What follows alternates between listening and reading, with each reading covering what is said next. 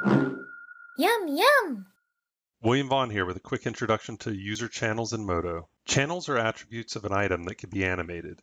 User channels are additional channels you can create that can be useful when creating controllers for an animation rig. The best way to understand user channels is to see them in action. In the scene, I have two morphs set up for this character head. Instead of controlling the strength channel individually, we'll create a user channel that drives the strength of both morphs. Start by selecting a locator and click Add User Channel in the User Channel Properties tab.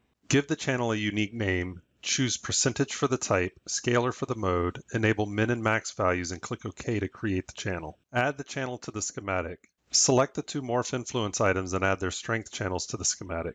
Connect the user channel to the strength channels. Select the locator and adjust the value for the user channel to see it in action. In the Assembly tab, add Channel Haul tool to the Command attribute.